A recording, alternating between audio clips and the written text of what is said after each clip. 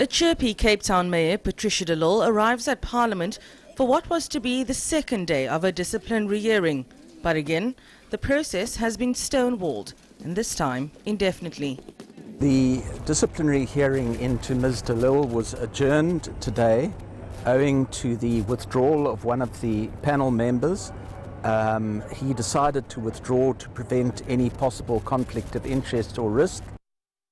De Lille's legal team has been arguing for Pogiso Monchusi and Sheila Kamara to recuse themselves on the basis that they are not fit and proper to serve on the panel.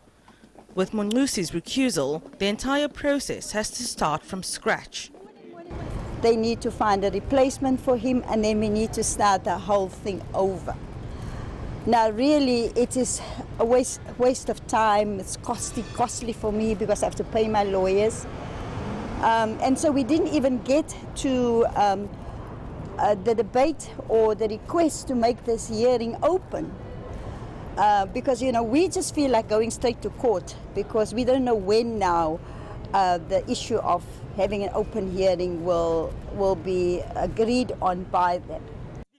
De is accused of bringing the party into disrepute and being difficult to work with.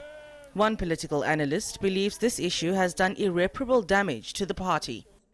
I think the DA in itself needs to start thinking about some of these tensions in going forward because I think as the election next year looms large in the electoral strategy, there were reports, in particular, a City Press report, which suggested that the DA was polling pre, uh, in terms of its, its, its electoral footprint, uh, pre 2016 polling uh, uh, results.